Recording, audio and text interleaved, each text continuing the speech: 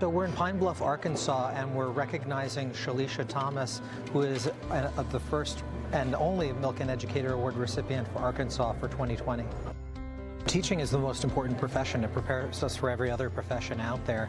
And we're hoping the students who are here seeing this will consider becoming educators themselves because we're short uh, a lot of outstanding educators. And when somebody out there sees their favorite teacher receiving an award and all the celebration that goes with it, hopefully they realize that teaching is really a rewarding profession.